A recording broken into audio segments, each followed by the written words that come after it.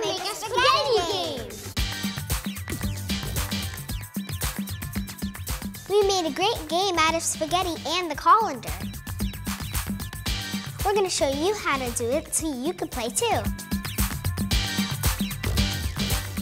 First, you need a colander. A colander is a strainer that you use in the kitchen, like when you're washing fruit or dumping cooked vegetables into it. The holes let the water run out.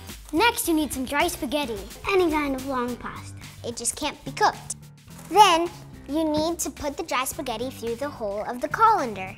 And you have to push it through one hole to get it all the way to the other side. It can be whatever way you want. Go crazy.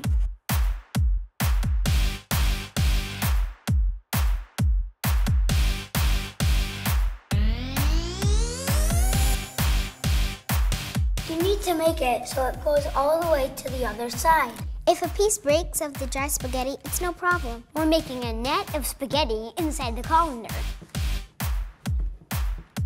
When the net is ready, you can put in a ball, a very light ball, like a ping pong ball or a foam ball. The ball should be light enough to sit on top of the pasta. Gently drop your ball on top of the spaghetti net.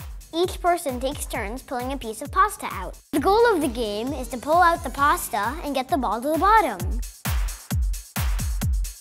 I'm picking this one because it's under the ball and it has better chances of making it fall. You were so close. I want to choose this one because it's holding the ball up. Yes!